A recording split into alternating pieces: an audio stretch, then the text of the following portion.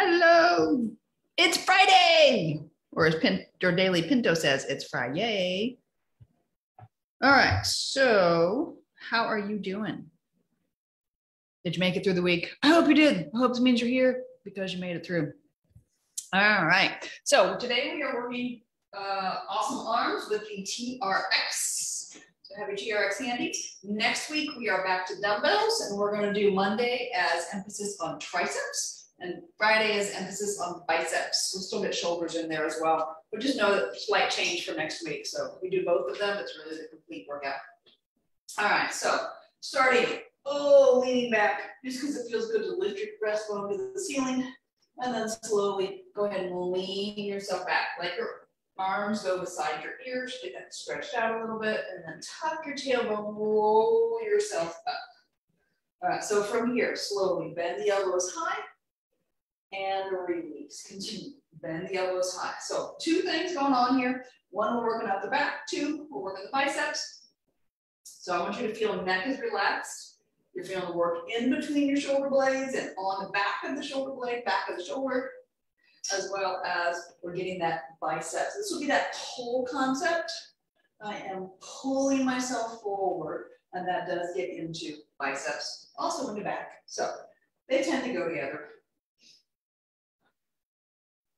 You can do upper back without the biceps. So if you want to try that, palms turn in, straight arms go out, and then release with control. And again, you can mix and match these a little bit if you'd like to. So one straight arm, one bent elbow, one straight arm. So if you're not used to doing that straight arm version is a little bit stronger. You've got small muscles without the assistance of the bicep trying to do the work it's easier to mix it up a little bit.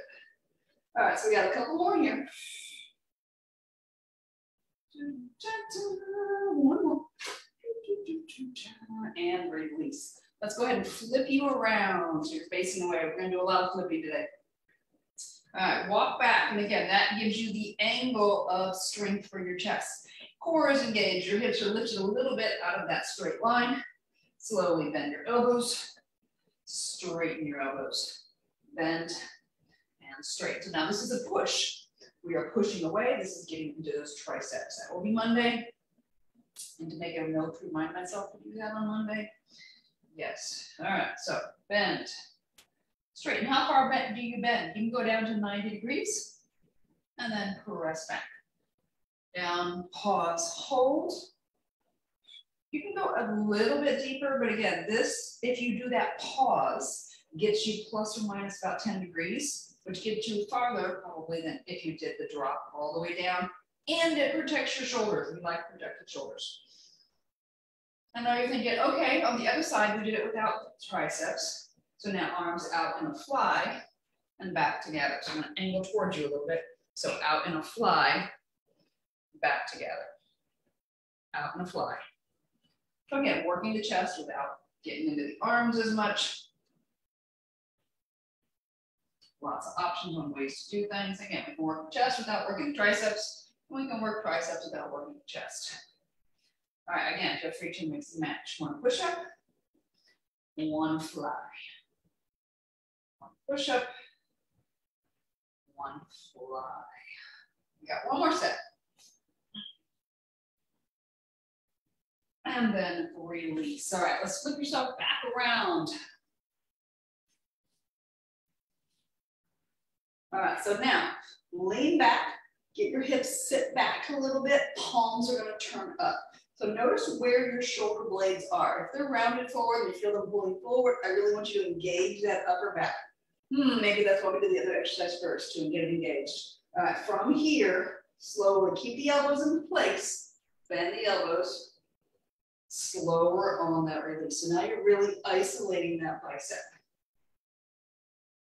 and then slow on the release.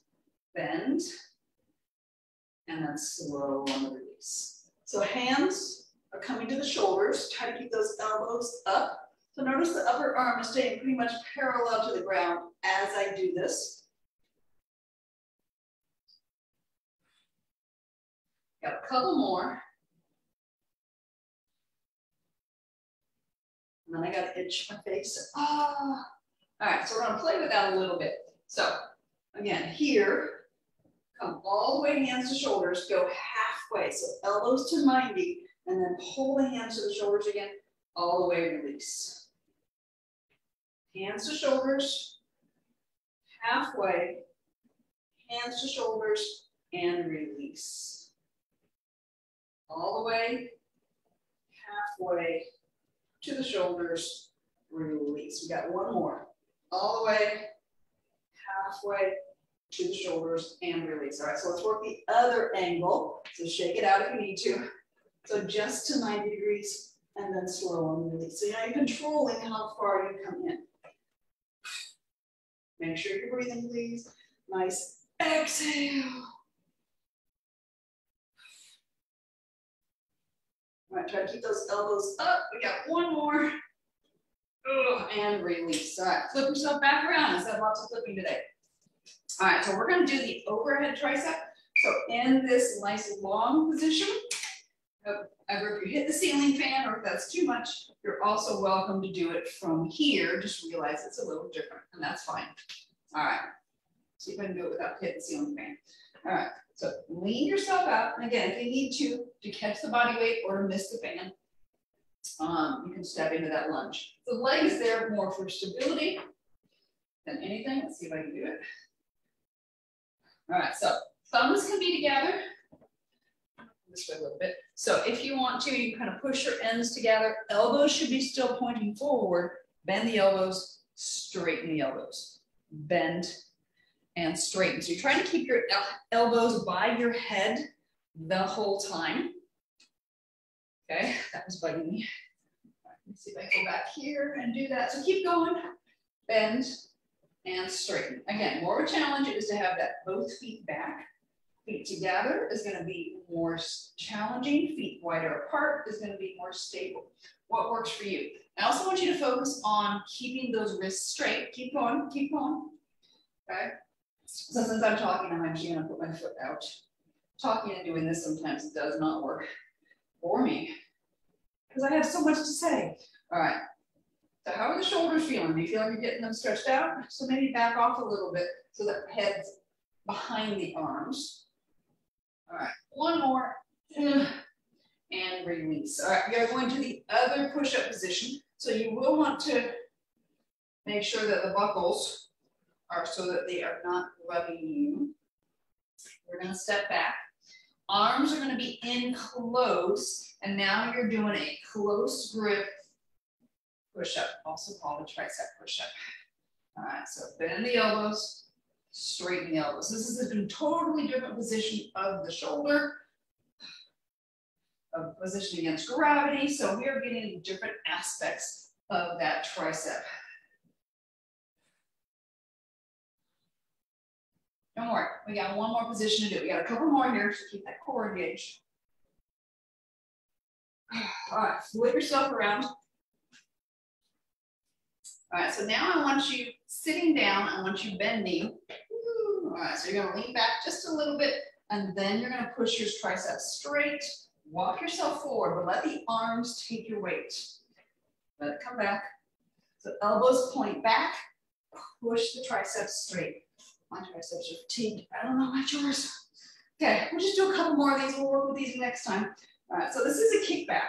So from here, it's kind of hard to get those arms straight without that step forward, okay, and maintain control. So think about what's happening at the shoulder blades. Shoulder blades are staying back. Oh, you can cheat like me. All right, shake it out. I think that's enough for today. It is Friday. So have a great weekend. And I will see you guys Monday at 5 for pull day. Have a good one. Bye.